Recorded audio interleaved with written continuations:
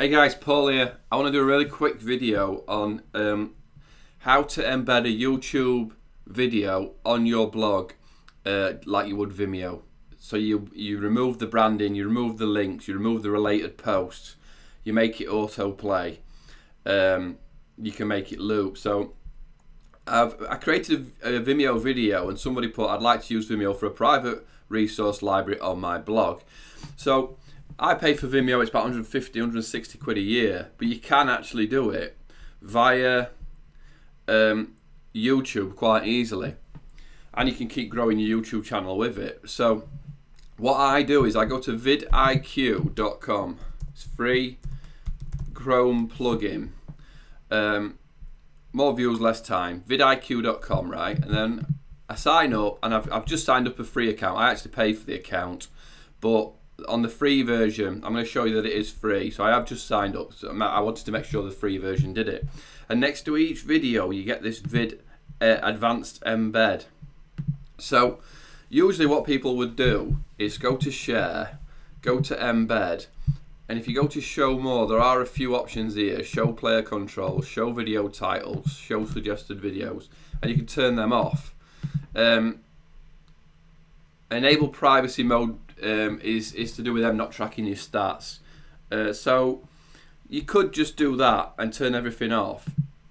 Or if you go here, you're going to see a lot more um, options within this advanced embedding vidIQ. So you can change the preferred size. You can change the quality to as high as you like.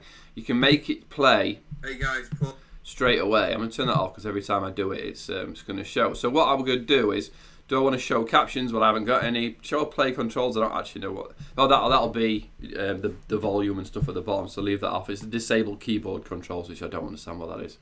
Allow full screen, yes. Show annotations. I'm going to turn that off. Loop video. So when it gets to the end of the video, start it again. Sure. Hide your hide YouTube logo. Show related videos. No show video info. So I'm going to turn that off at the top that title and enable enhanced privacy so it's not going to track. I'm going to leave that off. So all I'm going to do is grab that. I'm going to go so I've got a training training platform on Blue Jeans Media. So I'm going to go down to this YouTube training. All free training all those videos you just all those training courses you just see. So then I've got these courses. I'm just going to add a course. I'm going to add a lesson. Um, I'll call it advanced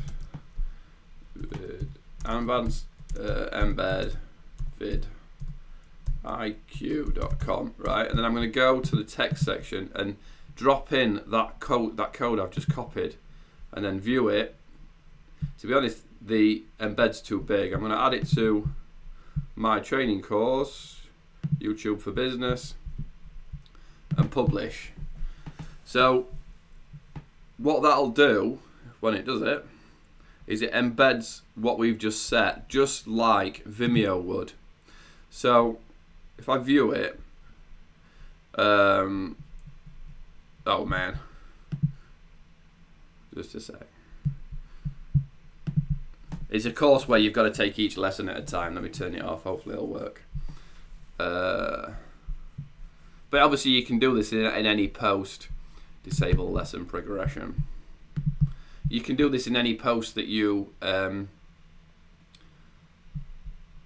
that you set up. So if it so it's it's ideal for landing pages, um, stuff like that. It, you know, if you're doing a sales page and you want to do a YouTube video that just shows that code, then you would do that. Sorry about this. I didn't realize that I had that set. Hopefully it'll.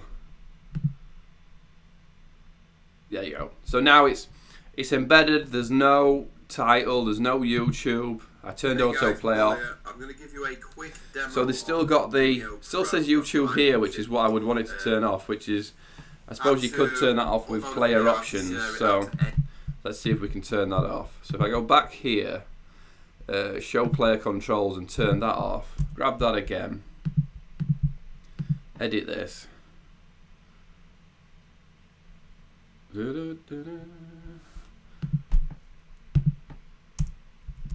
Paste in that new code. We know it's going to show big. Come on. Place that in there even. Then it'll show big. Upper datey.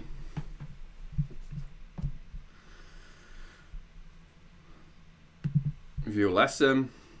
And what did that turn off? Hey guys. So yeah. So it give you a turned off the controls, but now you can't change the volume. So Pro, that's what I'm using. and this YouTube logo's turned back up. So you can see you've got some control over it.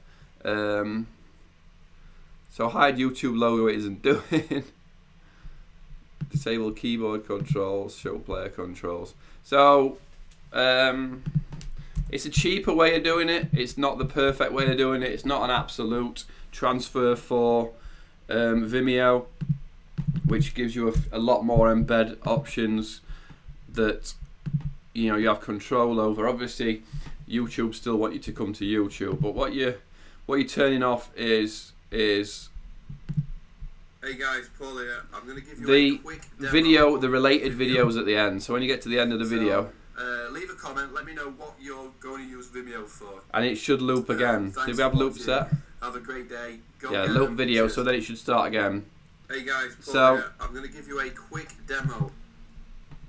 you can control what you see. So then obviously I can, once I've done that, I can go and um, edit the privacy on this video and make it unlisted so it doesn't show.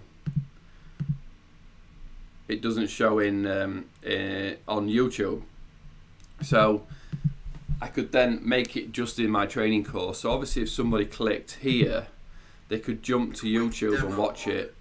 But um, would you do that on every video? Would you? Would you? Would anybody be that bothered about jumping in and, and doing and, and clicking on that video and then if they're going to steal your videos, they could in theory click here and then download your video and and, um, and steal it.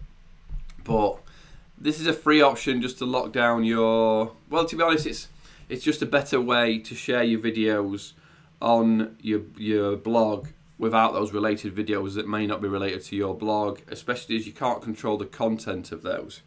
Um, my nephew's got a got a video that's you know he's seven years old or he was seven years old and it was bouncing on a trampoline and he titled it bouncing and then obviously the related videos that came on the blog after that were all bouncing boobs. So um, so I hope that that were a bit of a sky it turned into. I thought it would be better than, than I hoping it would be better than um, than what it turned out to be. But you can control what what's being shown via that vidIQ embed. You can do it by on the uh, on the Hey YouTube guys, share as well. But video video embed gives you a few more options, um, size wise, style wise. You can start it at different times, and again, you can hide your logo, um, and any other stuff. So it's a cheaper way of doing what you do in, in uh, Vimeo. It's not hundred percent as good, but it's a, it's a start for you before you make a leap to pay. Uh, if you're not ready to pay for Vimeo. So I hope that helped. Leave a comment below. Uh, let me know what you think. Um, see you all again soon. Cheers.